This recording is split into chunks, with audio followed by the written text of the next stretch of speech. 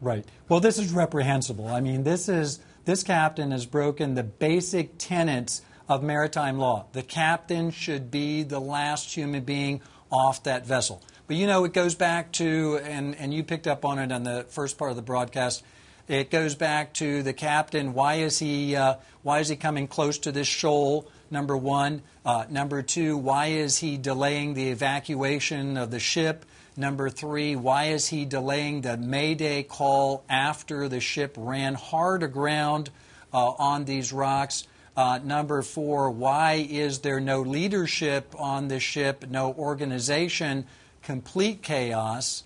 And we can only, of course, conclude that that's because the captain himself evacuated early, which that's exactly why you never do that. The captain, the masters, the mm-hmm. masters, they say in maritime law, he is the one to show leadership and responsibility at the time, uh, at this, you know, kind of. Uh, in this kind of disaster, and he didn't do it. And, and that's what we've heard from everyone who survived this that it was every man for himself or herself uh, right. uh, trying, didn't right. know where to go, didn't know how to board the lifeboat, didn't know what, what end was up when you need leadership in, in the worst